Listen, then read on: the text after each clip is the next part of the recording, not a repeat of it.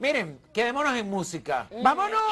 A un excitante. Y arrebatador. arrebatador. A ritmo de salsa. Ia. Ay. Ese es amigo tuyo, Yelida. Los Bueno, amigos, mi amor, lo que los pasa- amigos tuyos son Lo que pasa es que él esta noche va a celebrar el cumpleaños de tu Ex. compañero. las trabajo. Las claro que cuídate, mi sí. amor. Eh, Va a celebrar esta noche en Carbón y Leña. ¿Quién? Oh, Luis Luis, Mi. mi, mi amor, Luis Mi. claro. ¿Y qué pasa con mi amigo Con Luis su Mi? salsón, va para allá, mi amor. Excitante y arrebatador. Y desubicado también. Al parecer Luismi está yendo al gimnasio y ahora todos los días quiere mostrarse cómo va evolucionando su cuerpo. Está excitante y Ay, vamos a arrebatador. verlo. Ah, Mira, ay, ay, mentira. ay. Ay, no, ay, no. Ay, tú ni sabes a Ay, ver. no, Pero- ay, no. Muévelo. Ay. Ay. Pero no ha ido al gimnasio ni una sola vez todavía.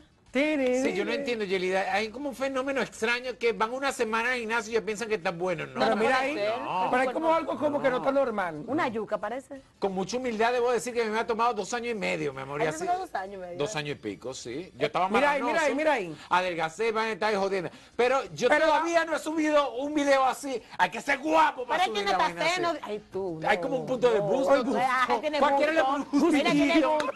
Cualquiera le pone un Ahora, justillito. pero Luismi, qué bueno, porque él se ve muy bien físicamente y si está mejorando su cuerpo, mejor. Enhorabuena, un taquito de ojo. Yo lo voy a ver personal y le digo después. Eres sí. fuerte. Y le mides el busto de qué Bueno, hay que ir es. aunque sea un ratito. Hay que ir